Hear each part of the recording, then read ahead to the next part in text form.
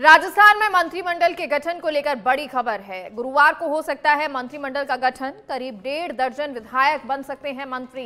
12 cabinet मंत्री, छह राज्य मंत्री शपथ ले सकते हैं, क्योंकि अब ये काउंटडाउन शुरू हो गया है। और जैसा कि आपको अभी बता रहे थे कि मुख्यमंत्री दिल्ली जा रहे हैं तो दिल्ली जाएँगे जो मंत्रिमंडल है उसको लेकर चर्चा भी होगी। और ये हो सकता है कि गुरुवार को मंत्रिमंडल का गठन हो जाए।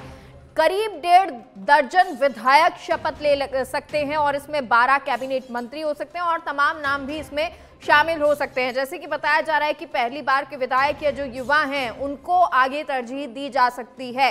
तो ये फ़िलहाल कयास है, लेकिन किसे आगे दिया जाएगा? मंत्रिमंडल में जगह किसे दी जाएगी? मंत्री पद किसे दिया जाएगा? किसे जिम्मेदारियाँ दी जाएँगी? ऐसे तमाम सवाल हैं, लेकिन इसी के साथ ये सवाल भी कि आखिर मंत्रिमंडल का गठन कब होगा? गुरुवार को लगभग ये माना जा रहा है कि मंत्रिमंडल का गठन हो सकता है। और हमारे साथ मैनेजिंग एडिटर सुधांशु माथुर जुड़ गए हैं इस खबर पर। सुधांशु जी, क्या गुरुवार को मंत्रिमंडल का गठन हो सकता है, दिल्ली से जो संकेत आ रहे हैं, वो इस चीज़ की ओर इंगित कर रहे हैं कि गुरुवार को जो है मंत्रिमंडल का विस्तार हो सकता है।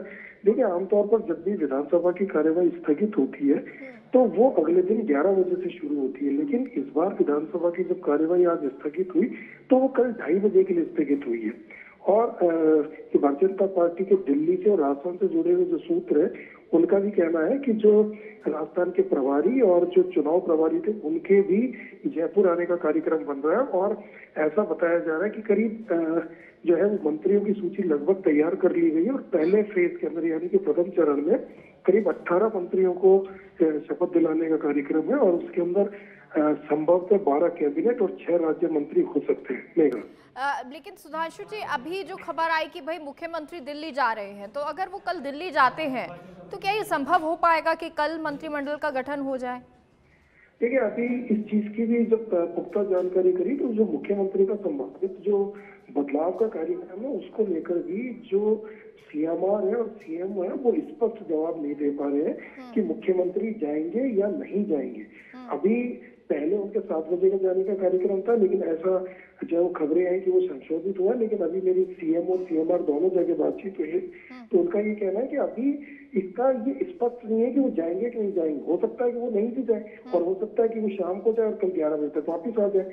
तो अभी मुख्यमंत्री के कार्यक्रम को लेकर कोई स्पष्ट जो है वो बयान नहीं आ रहा है। लेकिन दिल्ली के सूत्र बताते हैं कि चूँकि जो है वो लगभग सब चीज़ें तैयार है तो संभावना ऐसी है कि गुरुवार को मंत्रिमंडल का गठन हो सकता है। ऐसी संभावना है क्योंकि इसका अधिकृत घोषणा तो भारतीय जनता पार्टी करेगी लेकिन हमारे जो सोर्सेज है हमारे जो सूत्र है वो इस चीज़ को हाँ। बार बार अगर ऐसा होता है सुधांशु जी तो कल दोपहर ढाई बजे तक के लिए विधानसभा की कार्यवाही को स्थगित किया गया है तो क्या ढाई बजे बाद मंत्रिमंडल भी विधानसभा में नज़र आ सकता है या ये देर शाम तक की कवायद होगी? देखिए अपन सब कड़ियों को जोड़ सकते हैं। मीडिया का काम है कि कड़ी से कड़ी जोड़ना और हम इसी कड़ी से कड़ी को जोड़ रहे हैं कि जब आमतौर पर विधानसभा जो है अगले दिन ग्यारह बजे तक स्थगित थी लेकिन बहुत लंबे समय बाद ऐसा मैंने कभी नहीं सुना कि ढाई बजे के लिए विधानसभा स्थगित की गई है। हम्म, हम्म। तो भारतीय जनता पार्टी से जुड़े हुए जो सूत्र है उनका ये कहना है कि संभावना ऐसी बन सकती है कि कल 12 बजे से लेके और 2 बजे के बीच में संभवतः मंत्रिमंडल के विस्तार का कार्यक्रम हो सकता है। हालाँकि इसकी अधिकृत घोषणा या तो राजभवन करेगा या भारतीय जनता पार्टी की तरफ़ से कोई अधिकृत रूप से बयान जारी होगा, देगा। चलिए, बहुत बहुत शुक्रिया सर, तमाम जानकारी के लिए। और अभी ये कयास लगाए जा रहे हैं कि हो सकता है कि कल मंत्रिमंडल गठन हो जाए।